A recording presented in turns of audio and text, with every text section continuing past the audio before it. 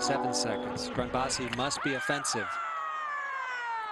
Both of them yelling. He has to go to the replay. He doesn't really want to make a risky call here.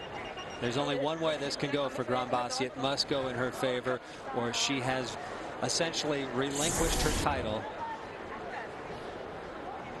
In the direction of Vezzali, well, for all intents and purposes, she will be crowned the champion for this season. This is a crucial point here. What's interesting is none of the fencers asked for replay. The referee went straight to the replay machine. Okay, this is it.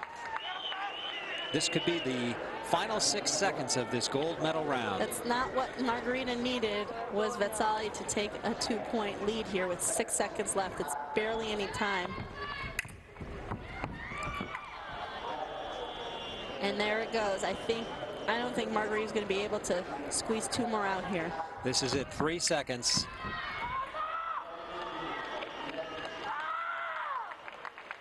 And the period and the bout comes down to just a mere technicality. We are on guard.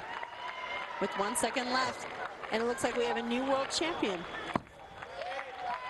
Valentina and now the formalities have occurred. In the Battle of the Champions, the reigning champion has been defeated, and it is another champion who will take the stand. The overall champion in all of fencing will take the gold medal in women's foil. We'll take a, a break, and we'll be back with the medal round presentation right after this.